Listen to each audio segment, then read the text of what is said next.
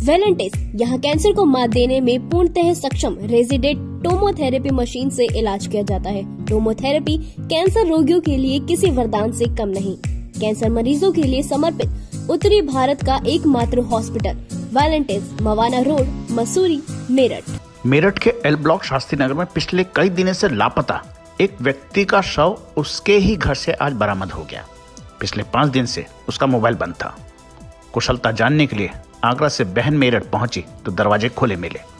भीतर का दृश्य बेहद डरावना व हृदय विदारक था। बुरी तरह से फूला हुआ शव पलंग पर पड़ा हुआ था और बदबू उठ रही थी। मौत के कारणों का पुलिस पता लगाने में जुट गई है।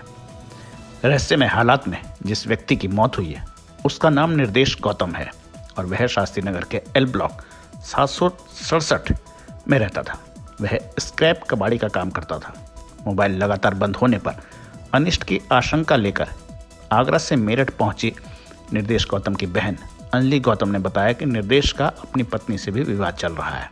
वह भी आगरा में रहती है। नाम निर्देश गौतम है। हमें नहीं पता कब खत्म हुए। दस बारह दिन से बातचीत नहीं हुई फ़ोन लगा रहे थे। और नहीं उठा रहे थे। ये आज हम देखने आए हम कि क्या बात है, फ़ोन क्यों नहीं उठा रहे? तो गेट खुले पड़े थे और वो अंदर करते हुए पड़े मेरे से तो लास्ट टाइम सोलह तारीख को बात हुई थी।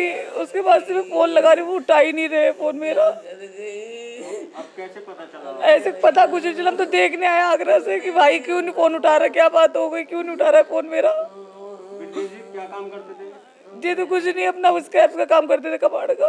कितनी उम्र होगी? पैतालीस साल के करीब हो गई हैं? मैं बहन हूँ इनकी।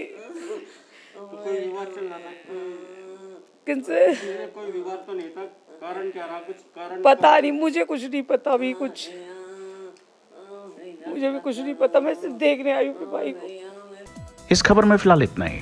खबरों से अपडेट रहने के लिए देखते रहिए फ़र्स्ट बाइट डॉट टीवी और हाँ अपने इस चैनल को सब्सक्राइब करना व बेल आइकन दबाना न भूलें। नमस्कार।